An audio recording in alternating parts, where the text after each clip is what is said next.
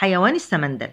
تعيش هذه الحيوانات البرمائية في كهوف تحت الماء في إيطاليا ودول البلقان حيث توجد موارد ضئيلة في مثل هذه البيئة ويمكن لهذه الحيوانات العيش مدة تصل إلى عشر سنوات دون تناول الطعام.